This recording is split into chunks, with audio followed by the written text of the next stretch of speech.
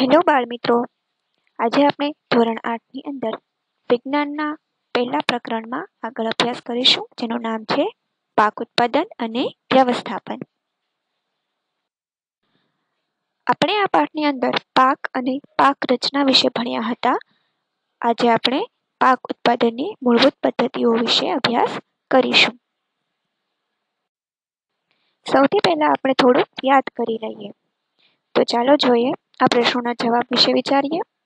ખરીફ પાક ખાલી જગ્યા ઋતુમાં વાવવામાં આવે છે. જવાબ છે ચોમાસામાં. યાદ છે ને તમને કે ખરીફ પાક એ ચોમાસાની ઋતુમાં વાવવામાં આવે છે? બીજો પ્રશ્ન, રવિ પાક ખાલી જગ્યા ઋતુમાં વાવવામાં આવે છે? યાદ કરો. હમ, જવાબ છે શિયાળામાં. ત્રીજો પ્રશ્ન, ખાલી જગ્યા એ રવિ પાક છે. મકાઈ કપાસ કે રાઈ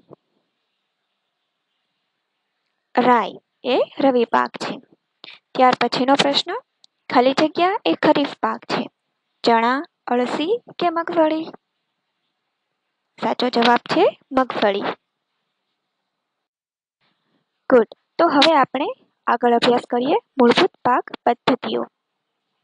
ખેડૂતો દ્વારા પાકની ખેતી દરમિયાન સમયાંતરે કરવામાં આવતી પ્રવૃત્તિઓને ખેત પદ્ધતિઓ કહે છે. જેની અંદર આપણે આ ચાર્ટ આગળ જોયો હતો સૌપ્રથમ ભૂમિને તૈયાર કરવી, ત્યારબાદ રોપણી, ત્યારબાદ ખાતર નાખવાની ક્રિયા, ત્યારબાદ સિંચાઈ, નીંદણથી રક્ષણ, લણણી અને છેલ્લે તેનો પાકનો સંગ્રહ કરવો. ખેત પદ્ધતિઓમાં આગળની પદ્ધતિ છે સિંચાઈ. સમયાંતરે ખેતરમાં પાણી પૂરું પાડવાની ક્રિયાને સિંચાઈ કહે છે. કૂવાઓ, તળાવો અને નહેરમાં રહેલા પાણીને પ્રાણીઓ કે મજૂરોની મદદથી ખેતરમાં લઈ જવા માટે ઉપર લાવવામાં આવે છે. ભારતમાં વપરાતી પરંપરાગત સિંચાઈ પદ્ધતિઓ નીચે પ્રમાણે છે. પ્રથમ છે મોટ, કે જેની અંદર ગરગડીયુક્ત વ્યવસ્થા હોય છે. બીજું ચેઇન પંપ, ત્રીજું ઢેકલી, ચોથું રહેન્ટ, જે એક ઉચ્ચાલનનો પ્રકાર છે. સિંચાઈની આધુનિક પદ્ધતિ વિશે અભ્યાસ કરીએ, તો આધુનિક સિંચાઈ પદ્ધતિઓ દ્વારા આપેલ પાણીનો કરકસરપૂર્ણ ઉપયોગ કરવામાં મદદ કરે છે અને શ્રમ તથા સમય બચાવે છે. ભારતની અંદર જે પરંપરાગત પદ્ધતિઓ છે, તેની અંદર મહેનત પણ પુષ્કળ થાય છે અને સાથે સાથે પાણીનો બગાડ પણ એટલો થાય છે. એ માટે સિંચાઈની આધુનિક પદ્ધતિઓ વિકસાવવામાં આવી, જેના મદદથી શ્રમ પણ ઓછો પડે અને સમયનો પણ બચાવ થાય. જેમાં છે ફુવારા પિયત પદ્ધતિ.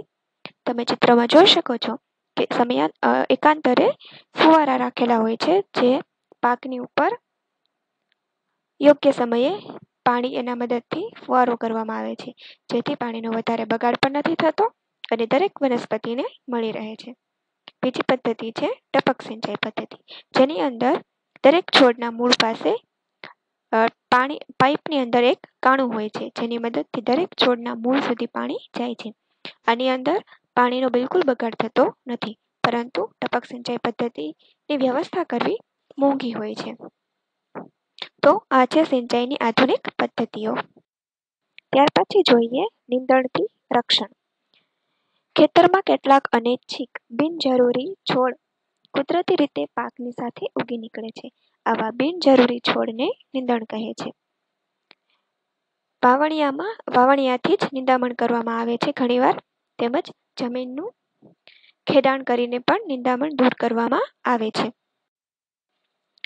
પાકની સાથે ઉગતી બિનજરૂરી વનસ્પતિને દૂર ક્રિયા, કરવાની ક્રિયાને નિંદામણ કહે છે.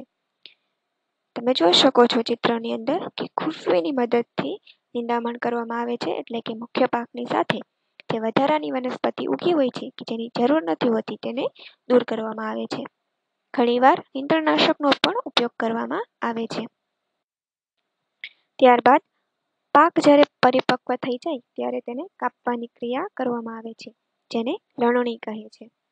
તમે ચિત્રમાં જોઈ શકો છો, દાંતરડા વડે જાતે લોકો ખેતરની અંદર લણણી કરે છે. આ ઉપરાંત થ્રેશરની મદદથી પણ લણણી કરી શકાય છે. સંગ્રહ.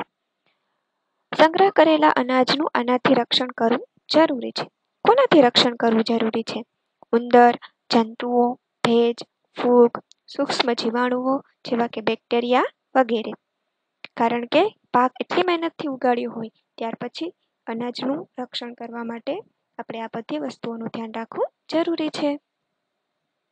સંગ્રહ એ પાક વપરાય નહીં કે વેચાય નહીં.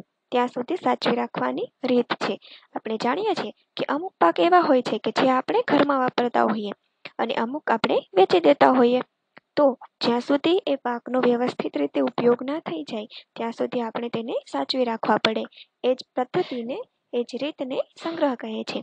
જેની અંદર આપણે આપણા અનાજનું આ બધા તત્વોથી રક્ષણ કરવું જરૂરી છે. પાક ખાસ કરીને અનાજને લાંબા સમય સુધી સંગ્રહ કરી શકાય છે. આપણે જાણીએ છીએ કે આપણા ઘરની અંદર વર્ષ, આખા વર્ષ દરમિયાનનું અનાજ એકસાથે લેવામાં આવતું હોય છે અને તેને આખા વર્ષ દરમિયાન સાચવવામાં આવતું હોય છે. તો એના માટે આપણે શું કરી શકીએ? તો લણેલું જે અનાજ છે એને એમાંથી જ્યારે સૂકું અનાજ થઈ જાય, ત્યાર પછી તેને કેટલીક વાર અનાજ ઉપર રાસાયણિક પ્રક્રિયાઓ પણ કરવામાં આવે છે. ત્યારબાદ સાયલો અથવા કોઠારમાં કોથળા ભરીને મૂકી દેવામાં આવે છે. અનાજનો સંગ્રહ કોથળામાં કે ધાતુના મોટા પીપળામાં કરવામાં આવે છે. સાયલો અને અનાજ ભરવાની મોટી વખારોમાં અનાજનો મોટા પાયે સંગ્રહ કરવામાં આવે છે. તમે અહીંયા ચિત્ર જોઈ શકો છો, જેમાં એક કોઠાર છે અને મોટા મોટા કોથળાઓની અંદર અનાજનો સંગ્રહ કરવામાં આવ્યો છે. અને બીજી બાજુ એક સાયલોનું ચિત્ર છે, જેની અંદર પણ અનાજનો સંગ્રહ કરી શકાય છે. પ્રાણીઓ દ્વારા ખોરાક. જેમ, જેવી રીતે વનસ્પતિમાંથી આપણને ખોરાક મળે છે, તેવી રીતે પ્રાણીઓ પણ આપણને ખૂબ જ ઉપયોગી થાય છે. ઘરમાં અથવા ખેતરમાં રાખવામાં આવતા પાલતુ પ્રાણીઓને યોગ્ય ખોરાક, રહેઠાણ તેમજ તેની દેખરેખ પણ અતિ આવશ્યક હોય છે. જ્યારે આને મોટા પાયા પર કરવામાં આવે છે, ત્યારે તેને પશુપાલન કહે છે. ઘણી વખત ખેડૂતો પોતાના ખેતરની અંદર કામ કામ કરવા માટે ઘણા પ્રાણીઓ પાળતા હોય છે. તે પ્રાણીઓ જે છે, ખેતરમાં તો કામ લાગે જ છે. સાથે સાથે તે આપણને ખોરાક પણ આપે છે અને આપણા માટે ઘણું ઉપયોગી છે. જ્યારે આવી રીતે ઘણા બધા પ્રાણીઓને મોટા પાયા ઉપર આવી રીતે સાચવવામાં આવે અને તેની દેખરેખ રાખવામાં આવે, ત્યારે તેને પશુપાલન કહે છે. બાળ દોસ્તો, અત્યાર સુધી આપણે જે ભણ્યા, તેને ટૂંકમાં સારાંશ જોઈએ. જમીનને પોચી કરવાની અને ઉપર નીચે કરવાની પ્રક્રિયાને જમીનનું ખેડાણ કહે છે. કુદરતી અને કૃત્રિમ ખાતરનો ઉપયોગ કરીને જમીનની ફળદ્રુપતા વધારી શકાય છે. સમયાંતરે પાકને પાણી આપવાની પ્રક્રિયાને સિંચાઈ કહે છે, જેનો આપણે ભારતની પરંપરાગત સિંચાઈની પદ્ધતિ અને આધુનિક પદ્ધતિ પણ ભણ્યા. નિંદામણમાં બિનજરૂરી વનસ્પતિને દૂર કરવામાં આવે છે. લણણી એ પાકના, પાકેલા પાકને જાતે અથવા મશીન વડે કાપવાની પ્રક્રિયા છે. ભૂસામાંથી અનાજને અલગ કરવાની પ્રક્રિયાને થ્રેશિંગ કહે છે. તેમજ ભેજ, જંતુઓ અને સૂક્ષ્મ જીવાણુઓથી બચાવવા માટે અનાજનો યોગ્ય સંગ્રહ જરૂરી છે. બાળ દોસ્તો, અહીંયા કેટલાક પારિભાષિક શબ્દો આપેલા છે. એટલે કે જે પાઠની અંદર મુખ્ય શબ્દો આવતા હતા, જે મહત્વના છે, તેના આપણે ઇંગ્લિશમાં નામ પણ યાદ રાખવા જરૂરી છે. તો તમે આ તમારી નોટબુકમાં નોંધી લેશો. હવે આપણે થોડું યાદ કરી લઈએ. છોડના મૂળમાં ટીપે ટીપે પાણી આપવાની સિંચાઈ પદ્ધતિને શું કહે છે? ઠેકલી ટપક સિંચાઈ, ફુવારા પદ્ધતિ કે પછી રહેંટ? આના જવાબ તમારે તમારી નોટબુકમાં લખવાના છે. પ્રેક્ટિસ નંબર બે, નીચેના પ્રશ્નોના જવાબ આપો. આ પ્રશ્નોના જવાબ તમારે તમારી નોટબુકમાં લખવાના છે. સિંચાઈ એટલે શું? ભારતમાં પરંપરાગત સિંચાઈની પદ્ધતિઓના નામ લખો.